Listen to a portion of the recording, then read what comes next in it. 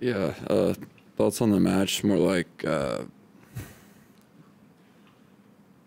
I just, I mean, I need to do a lot better on on my serve. I need to serve, need to serve much better, and, and not just give away so many loose points on my serve. I feel like, as far as you know, returning goes, I can't actually ask for for that for that much more. I was in, you know, I mean, forget about forget about the first set, but the second and third, I was in a lot of return games, got breaks both sets, chances to get more than one break. Like that's, you know, I can't I can't ask for much more than that. If I could actually uh, serve, I think to the the standards that I know I can serve to, then, you know, then maybe I could I could work with something. It'd be a it'd be a closer match, but uh, obviously Novak being Novak, he, he'll make me feel like I'm serving, you know, worse than I am. But you know, in other matches, uh, I, I wouldn't get,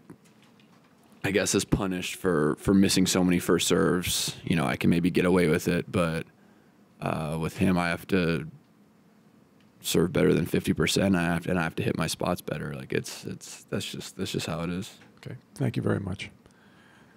Matt? Hi, Taylor. Matt Futterman from the New York Times. What's your process after, uh, you know, a big event like this in terms of sitting down with your team and sort of dissecting things? Do you go through the videos of your matches? Do you talk through all the results? And I mean, I know you, I know you play a lot, probably more than just about most people. Is, uh, do you take the time to dissect things before you take the next step and get out there again? Uh, I mean, uh, just from, you know, it's only been 30 minutes, but Well, I guess I'm talking about more that you know, for the next week or something like that. How do you? well, the next week I'm, I'm probably not going to play tennis for the next week, and then I hope ne- when I come back in a week I'll I'll remember how to how to serve. But um, just digesting the match, like right now, I I know definitely have some things in mind that I that I need to to work on that are kind of uh, clear to me that I need to improve a bit. And you know, once I get back on the court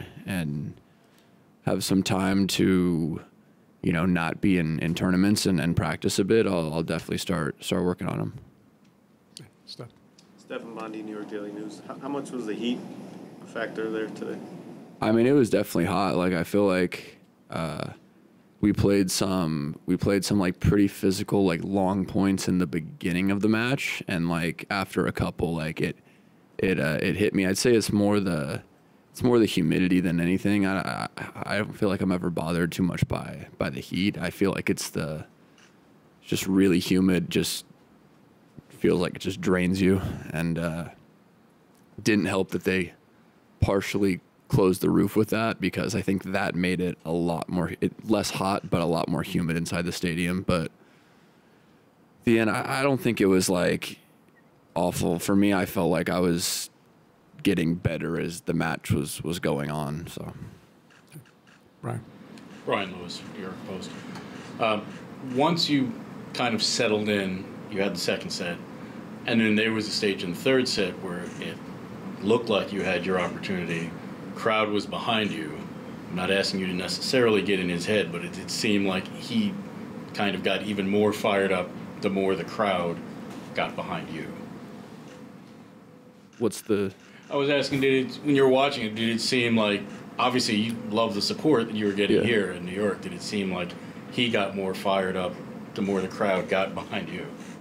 Uh, I, I didn't. I didn't think so. I didn't. I didn't notice. I, I feel like, uh, yeah, like you said, I had. I had the chances in the third. I, I played some. Started playing some.